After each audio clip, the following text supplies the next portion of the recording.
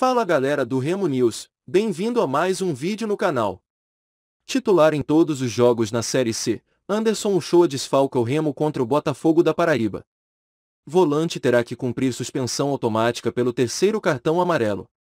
Veja as opções que o técnico Gerson Guzmão tem para a posição.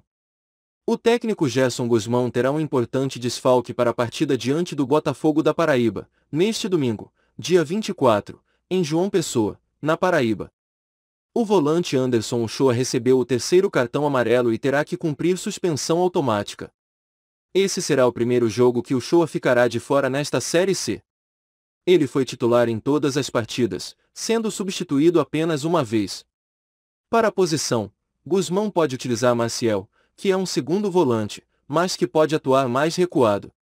Outra opção é Marco Antônio, mas ele vem sendo pouco utilizado na terceirona. Há também a possibilidade de Paulinho Curuá, titular contra o ABC, descer para o lugar de Uchoa e Jean Patrick voltar ao time. O Remo encara o Botafogo da Paraíba neste domingo, dia 24, às 19 horas, no estádio Almeidão.